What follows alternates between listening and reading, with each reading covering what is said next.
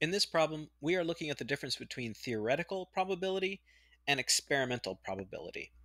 And basically, theoretical probability is what we compute. So we do some math to uh, to make a fraction or a decimal or a percent. Um, that is the probability of something happening.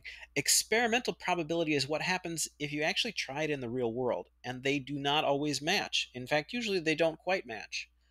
For example, let's say I was going to flip a coin four times the chances are theoretically that I would get a, two heads and two tails, right? Because there's a 50 50 chance of heads or tail every time. But you know that if you flip a coin four times, you might get three heads, even four heads. You might get four tails, or, or two tails, or, or three tails. So it's a little different every time because it's random.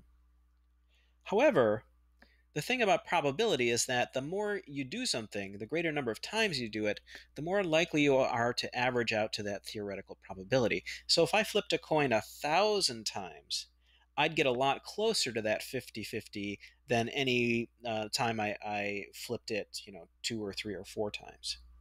So that's the difference between the- theoretical probability and experimental probability. Let's take a look at this problem. It says the spinner below shows 10 equally sized slices and Jane spun the dial 20 times and got these following results. So this is experimental. These are the results of Jane's experiment of this, this probability situation.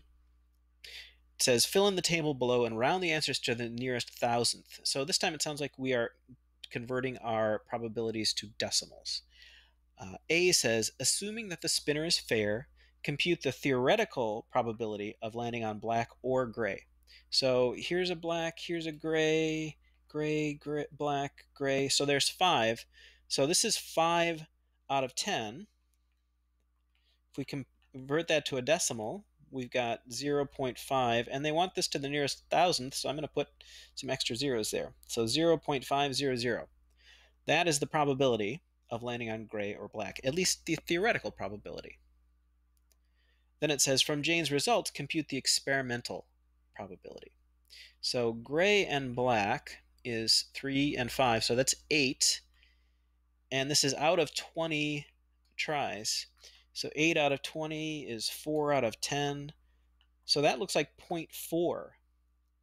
So, and if we do this to the nearest thousandths, we'll do 0.400. So as you can see, they didn't quite match up there. It's fairly close, but it didn't quite match up.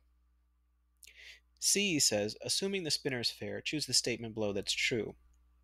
The first statement says, with a small number of spins, it is surprising when the experimental probability is much less than the theoretical probability.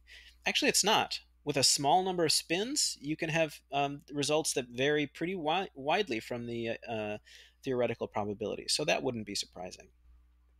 The second one says, with a small number of spins, it is not surprising when the experimental probability is much less than the theoretical probability. It's not surprising to me. I'm going to check that one, but let's read the third one just to see.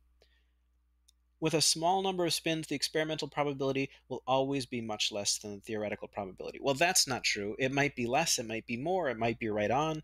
We just uh, can't uh, predict that with any accuracy.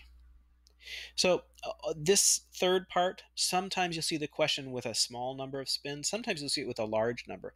The thing to remember is that the larger the number of trials, the closer the experimental probability should get to the theoretical probability. So that's a little bit of work with theoretical and experimental probability.